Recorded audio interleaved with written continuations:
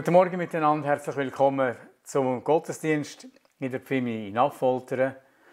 Wir sind immer noch auf dem Bildschirm präsent und freuen uns natürlich zunehmend auf den Tag, wo wir wieder können, dann auch miteinander Gemeinschaft haben Meine heutige Predigt ist im Rahmen von einer Serie äh, zur Apostelgeschichte und weil wir auf Pfingsten zugehen, werde ich versuchen, heute eine Brücke zu schaffen zwischen der äh, Prophetie vom Joel, wo der Petrus am Pfingstfest selber aufgegriffen hat und gesagt hat, das, was ihr da miteinander lebt, ist das, was der Prophet Joel damals gesagt hat. Und damit den Grossbogen spannen zwischen der Heilsgeschichte, wo Gott angekündigt hat durch alle Propheten und so auch durch den Joel, und gleichzeitig äh, in die Geburtsstunde von der Gemeinde geführt hat. Denn Pfingsten ist Geburtsstunde auch von der Gemeinde. 50 Tage nach der Auferstehung von Jesus. Es ist das Fest von der Ernte, von der Woche. Das wird heute noch gefeiert von den Juden unter der Bezeichnung Shavuot. Wir wissen, Jesus ist am Passafest gekreuzigt worden und verstanden äh, nach dem Sabbat, am Tag von der Erstlingsfrucht. Das beinhaltet auch eine Verheißung natürlich, nämlich unsere Auferstehung. Und das Fest von der Pfingsten ist schon 1500 Jahre lang gefeiert worden, bevor man dann in Apostelgeschichte 2 miteinander liest und sagt, als der Tag von Pfingsten gekommen war. Ähm, das sehen wir nachher, ich lese ein Stück weit raus. Es sind also die ersten Feste im Jahr und Gott hat das so festgelegt. Kreuzigung am Passafest, was auch natürlich ein, ein Bild ist vom Auszug aus der Gefangenschaft unter dem Zeichen vom Blut, wo schon war an der Türpfosten bei der, äh, beim Volk Israel. Und jetzt hat Jesus mit seinem Blut am Kreuz das Zeichen festgemacht, dann du Verstehung, wo Erstlingsfruchtzeit ist oder, oder das Fest davon. Und schließlich Pfingst das Fest von den verschiedenen Wochen, die da sind. Und an dem Tag vom jüdischen Pfingstfest sind die Leute zusammen gewesen, und zwar weil Jesus gesagt hat, geht jetzt und wartet, bis ihr die Verheißung empfangt vom Vater oder der Vater euch wird schicken. Nämlich der Heilige Geist. Ihr werdet Kraft empfangen und meine Zeugen sein. Aus verschiedenen Nationen, verschiedenen Kulturen, verschiedenen Sprachen. Eine ganz gewaltig bewegte Zeit. Man ist von allen Orten zusammengekommen man hat in Jerusalem gefeiert, ähm, die Pfingstzeit. Das war eine historisch bewegte Zeit, die war stärker als noch gerade Corona. Da ist Jesus gekreuzigt worden, du verstanden und der Jünger erschienen und äh, hat dann gesagt, bleibt in Jerusalem, wartet auf die Verheißung vom Vater, ihr werdet Kraft empfangen. Und das ist ein inneres Aufgewühltsein, zwischen dem, jetzt haben wir ihn gehabt, jetzt ist er doch gekreuzigt worden, jetzt haben wir gehört, ist er verstanden, jetzt ist er uns erschienen, jetzt hat er mit uns geredet. Das war wirklich ganz etwas Spezielles. Ich werde mal ein paar Vers lesen aus Apostelgeschichte 2. Als der Pfingsttag gekommen war, waren sie alle an einem Ort beieinander. Und es geschah plötzlich ein Brausen vom Himmel wie von einem gewaltigen Wind und erfüllte das ganze Haus, in dem sie saßen. Und es erschienen ihnen Zungen, zerteilt wie von Feuer, und er setzte sich auf einen jeden von ihnen. Und sie wurden alle erfüllt mit dem Heiligen Geist, fingen an zu predigen in anderen Sprachen, wie der Geist ihnen ausgab, auszusprechen. Und es wohnten in Jerusalem Juden, die waren gottesfürchtig, Männer aus allen Völkern unter dem Himmel. Und als nun dieses Brausen geschah, kam die Menge zusammen und wurde bestürzt, denn ein jeder hörte sie in seiner eigenen Sprache reden. Sie entsetzten sich aber, verwunderten sich und sprachen, siehe, sind nicht diese alle, die da reden, aus Galiläa? Wie hören wir denn jeder seine eigene Muttersprache? Parther, Meder, Elamiter, und die, die in Mesopotamien wohnen und in Judäa, Kappadokien, Pontius und aus der Provinz Asien, Phrygien, Pamphylien, Ägypten und der Gegend von Kyrene in Libyen und Einwanderer aus Rom, Juden und Judengenossen, Kreter, Araber, wir hören sie in unseren Sprachen von den großen Taten Gottes reden. Sie entsetzten sich alle und wurden ratlos und sprachen einer zum anderen, was will das werden? Andere hatten ihren Spott und sprachen, ja, die sind voll von süßem Wein. Und da trat Petrus auf mit den Elf, erhob seine Stimme und redete zu ihnen, ihr Männer, ihr Juden und alle, die ihr in Jerusalem wohnt, das sei euch kundgetan und lasst meine Worte zu euren Ohren eingehen. Diese sind nicht betrunken, wie ihr meint. Ist es doch erst die dritte Stunde am Tag sondern das ist, was durch den Propheten Joel gesagt worden ist. Es soll geschehen, in den letzten Tagen spricht Gott, da will ich ausgießen von meinem Geist auf alles Fleisch, und eure Söhne und eure Töchter sollen Weissagen, und eure Jünglinge sollen Gesichter sehen, und eure Alten sollen Träume haben, und auf meine Knechte und auf meine Mägde will ich in jenen Tagen von meinem Geist ausgießen, und sie sollen alle Weissagen. So viel einmal einfach als also der biblische große Rahmen, in dem das Geschehen von Apostelgeschichte 2 jetzt einfach drin ist. Und zwischen der Einleitung, die Florian Sondheimer gemacht hat und das Ganze dargelegt hat und der Lukas platziert hat, auch als Schreiber, und den verschiedenen Details, die er uns mitgegeben hat, und dieser Geschichte ist eben nur der, der Übergang wo, wo die Wahl war. Und jetzt sind eben Leiterschaftsthemen drin, wie ich es schon erwähnt habe. Und ich denke, wir gehen jetzt gerade mal daher. Ich komme an Pfingsten aber nachher wieder darauf zurück. Da gibt es natürlich einiges zu sagen. Heute ist eigentlich Muttertag. Und da, ähm, das Jahr braucht es natürlich Fantasie und Kreativität, weil man ja nicht so zueinander kommen kann, wie man es sonst. Und wir wünschen auf jeden Fall allen Müttern Segen und neue Kraft und Freude und kreative Väter und Kinder, die etwas machen und noch etwas durch den Kopf geht, was man könnte tun, wenn Corona immer noch ein bisschen regiert. So, jetzt werde ich in die Brücke hineingehen, die der Joel macht zu Pfingsten, wo der Petrus ja erwähnt und sagt, nein, nein, das, was wir hier erleben, ist das, was der Joel schon lange mal gesagt hat, jetzt ist es gerade passiert. Wenn ich den ersten Schwerpunkt setzen würde ich sagen, wisst ihr, das gilt heute. Es war immer Gottes Absicht, mit den Menschen Gemeinschaft zu haben. Ein erfülltes, freudiges Leben soll es sein. Die Geschichte lehrt uns, dass das nicht funktioniert hat. Es ist aber immer ein Angebot von Gottes Seite. Und gleichzeitig ist der Mensch seit jeher herausgefordert, in das Angebot einzulinken. Oder halt eben abzulehnen. Damit die Menschen davon wissen, hat Gott immer wieder geredet. Und unter anderem auch durch Propheten, Menschen, die Gottes Stimme hören und weitergehen. Und das Verstehen von dem Reden Gottes ist Gegenstand von allem Predigen, von allem, was verkündigt wird. Zu diesen berufenen Menschen gehört eben auch der Prophet Joel, von dem wir in der Bibel Botschaft überliefert haben.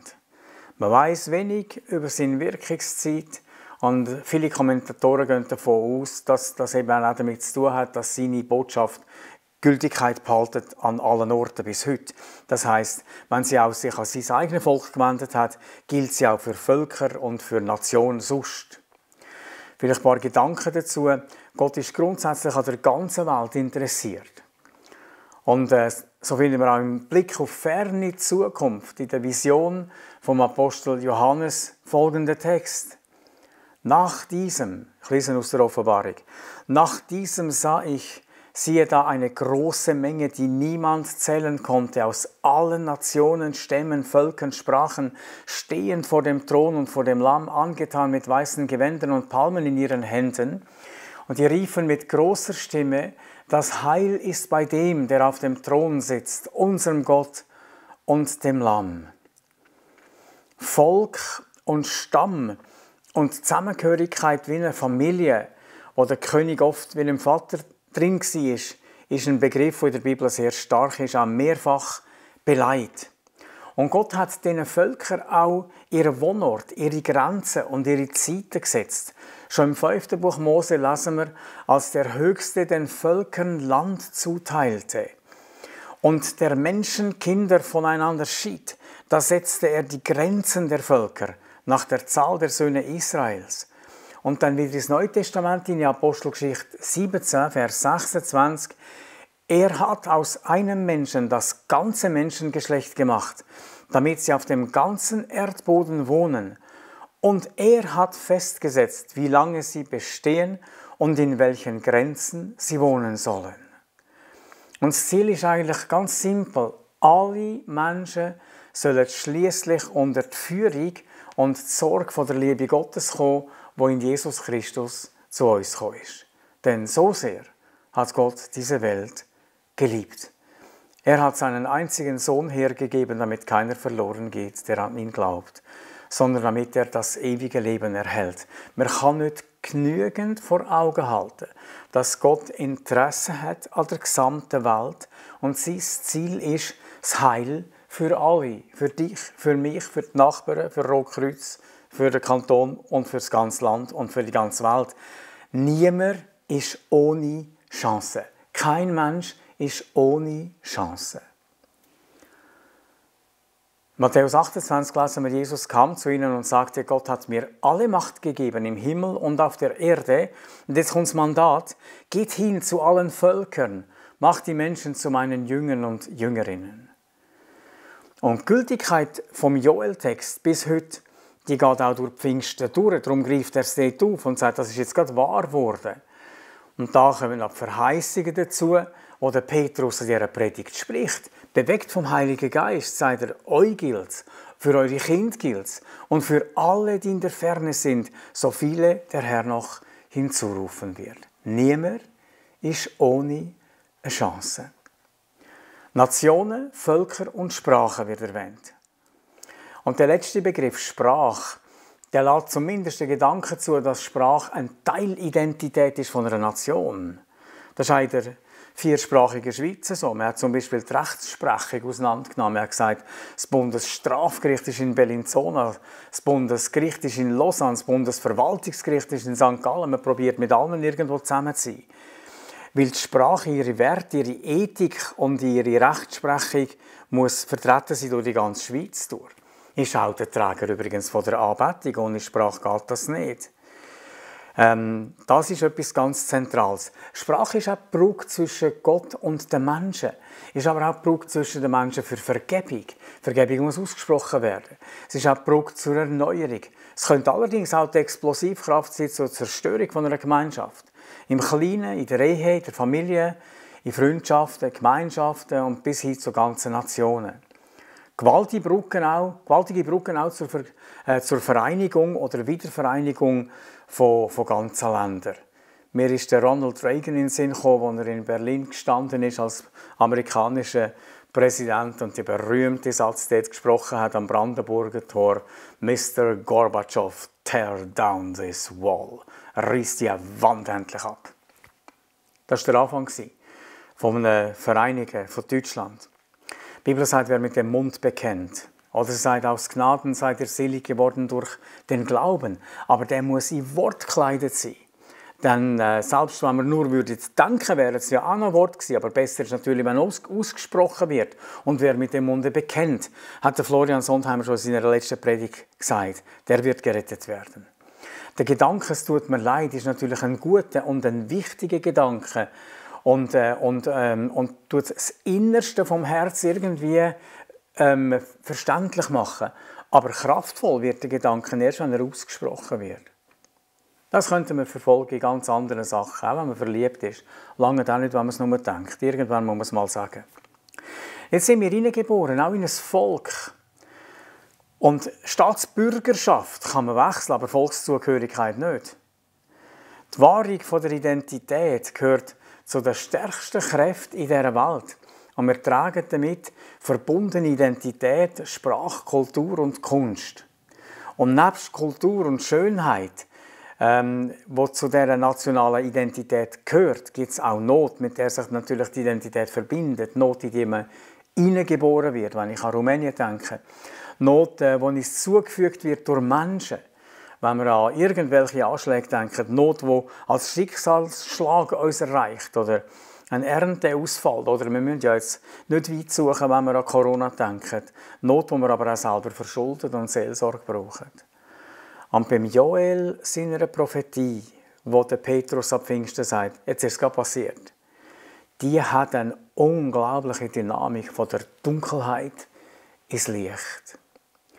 Der Prophet Joel beschreibt die Not und Dunkelheit, wo die Menschen und Nationen sich drin befinden können. Aber er zeigt auch einen Weg, wie es aus der Dunkelheit raus ins Licht geht. Dunkelheit ist beim Joel beschrieben im Kapitel 1. Und am Anfang vom zweiten Kapitel mit außergewöhnlicher Kraft von der Sprache. Es ist ein, ein Teppich von dunklen Bildern, von Zerstörung, von Leid, von Angst, von Hunger, von Hoffnungslosigkeit. Beziehung zu Gott ist kaputt. Irgendwie ist es ein undurchdringliches Dickicht. Und wir können nur einen Schluss aus dem Ganzen herausziehen und sagen, no escape. Da kommst du im Fall nie mehr raus. Da kommt keiner weg. Heuschreckenplage.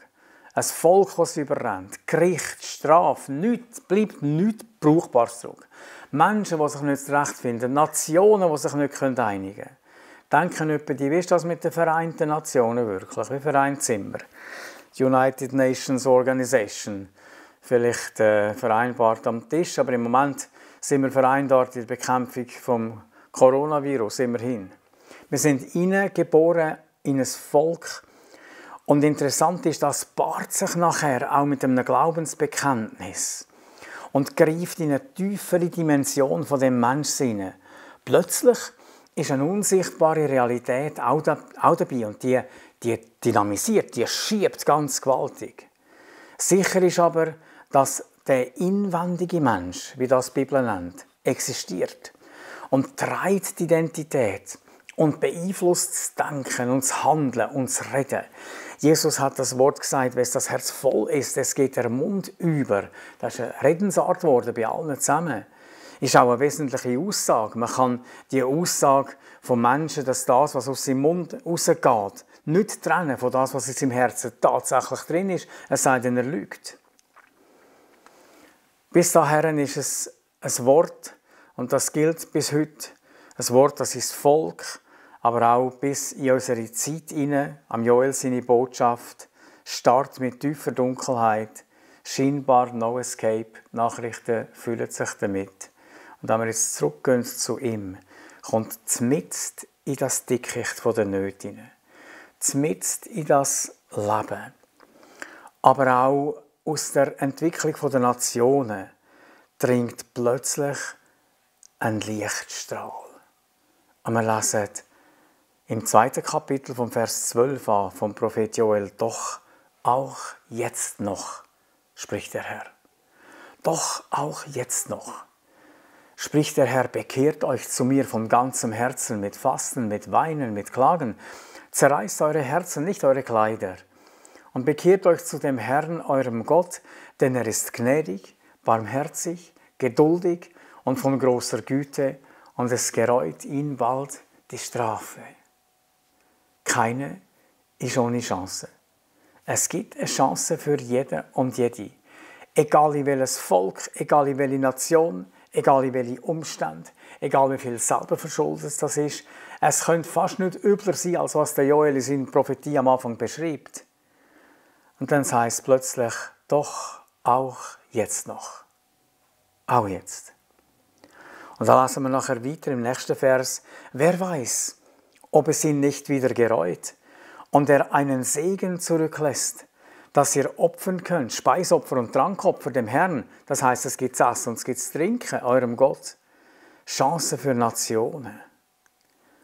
Ein Umdenken von den eigenen Wünschen zum Anliegen Gottes hin, wo Gemeinde, Volk, älteste Kind, Säugling, Brütigam, Brut, es gibt so viele Sachen, die das betrifft. Schone dein Volk, lassen wir lesen, und lass dein Erbteil nicht zu Schanden werden, dass Heiden über sie spotten, wo ist nun ihr Gott? Und das ist natürlich klar, umkehren muss unser Herz. Die Handlungen langen nicht. Obwohl sie auch wichtig sind, vor allem wenn es mehr sind als nur irgendwie ein religiöses Ritual. Nämlich eine echte Hilfe für die Schwachen, für die Benachteiligten. Zerreißt eure Herzen, nicht eure Kleider. Bekehrt euch zum Herrn, eurem Gott. Das klingt wie wenn man sich müsste selber zerstören, wenn es heißt, zerreißt eure Herzen. Aber es ist der Ausstieg aus der Selbstzerstörung. Und es ist der Weg in die Freiheit. Das Innerste ist gefragt.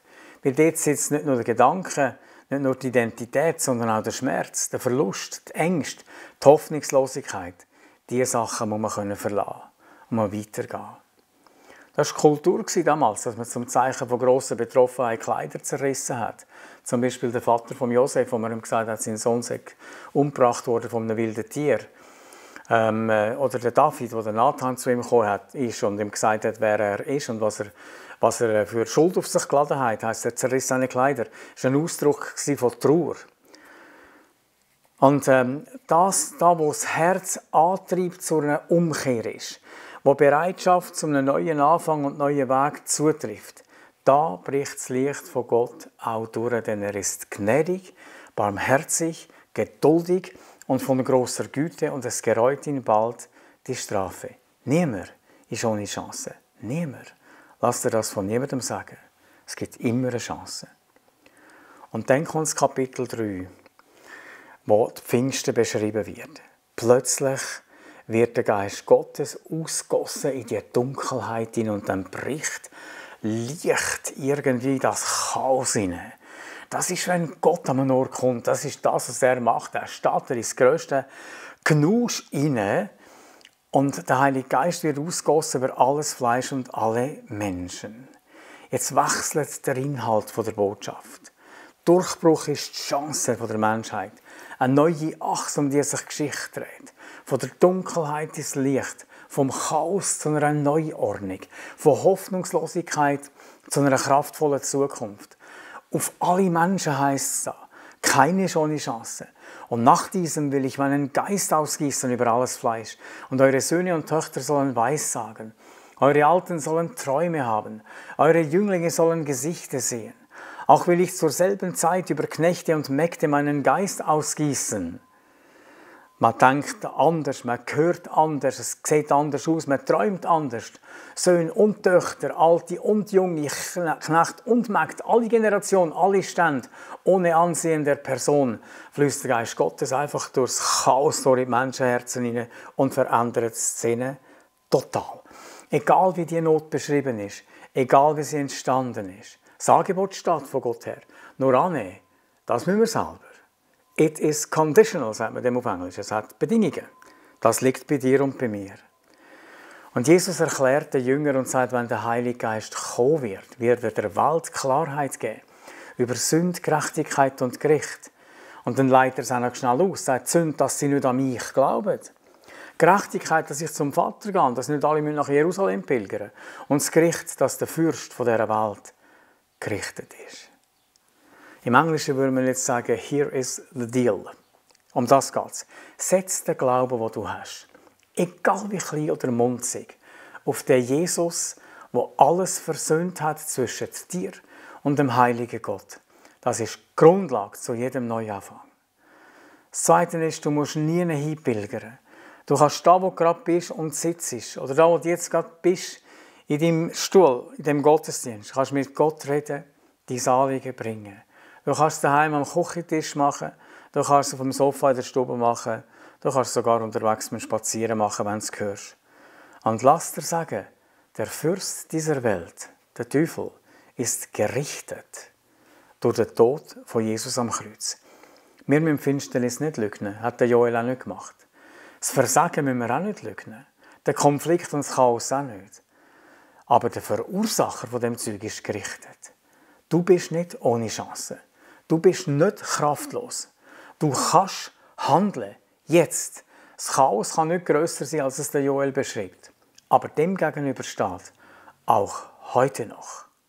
Wenn du umdenkst, diesem Jesus glaubst, wirst du erfahren, dass der Fürst dieser Welt gerichtet ist. Und das Sterben von Jesus ähm, und durch Sterben von Jesus seine Macht verloren hat. Ähm, dies Herz soll nicht zementiert und verstockt sein, Schmerz und ungelöste Fragen. Lass den Riss zu in deinem Inneren, damit das Zeug raus kann aus dem Leben raus. Und Gottes Geist kann wirklich hier gegossen werden. Pack die Chance. Es geht um einen einfachen Schritt. Es soll geschehen. Wer des Herrn Namen anrufen wird, soll gerettet werden. Gottes Geist will dein Leben ausfüllen. Und wenn du ohne grosse Fragen gekommen bist, heute einfach um einen Gottesdienst zu geniessen oder um dich zu freuen und die Verheißung vom Heiligen Geist, dann, dann lasst uns doch den Gott anbeten und ihm singen und einfach Zeit mit ihm zu haben, mit ihm können umprogrammiert werden in unserem Denken, Reden und Handeln. Lasst uns Zeit nehmen für das. Nochmal zurück zur Apostelgeschichte und mit dem Satz schließe ich nochmal ab. Da sprach Petrus zu ihnen, tut Buße und ein jeder von euch lasse sich taufen auf den Namen Jesu Christi zur Vergebung eurer Sünden, so werdet ihr empfangen die Gabe des Heiligen Geistes. Denn euch und euren Kindern gilt die Verheißung und allen, die fern sind, so viele der Herr, unser Gott, herzurufen wird. Ich werde noch beten. Wir danken dir, Herr, dass wir dürfen dieses Wort haben und die Geschichte, wie die Gemeinden entstanden sind, was für einen Durchbruch in die Geschichte das bedeutet hat. Danke, dass du dich um Nationen und Völker kümmerst. Dass es keine Ecke gibt, die dich nicht interessieren. Kein Ausländer, Nachbar oder wer immer es ist, der für dich unwichtig wäre. Sondern alle Völker, Stämme, Sprachen und so weiter werden mal versammelt sein, dich anzubeten. Danke, dass du durch deinen wunderbaren Heiligen Geist die neue Geschichtsachse gesetzt hast. Und wir dürfen teilhaben daran, dürfen erfasst werden. Danke, dass niemand ohne Chancen ist. Gar niemand. Ich selber nicht, die um mich herum nicht, die, die wir schon lange nicht wissen, wie es weitergehen soll. Dies kommen, dies durchbrechen, das, was wirklich letztlich Pfingsten ausmacht, durch die Ausgüssung vom Heiligen Geist, dringt durch alles durch. Wir ehren dich dafür, wir proklamieren den Durchbruch in die Menschenleben in die Situationen hinein und ins grösste Dunkel und ins grösste Chaos. Das Wirken von deinem wunderbaren Heiligen Geist, weil es gilt, uns, allen, die in der Ferne sind, so viele der Herr noch herzuführen wird. Danke von Herzen. Das beten wir, das empfangen wir in Jesu Namen. Amen.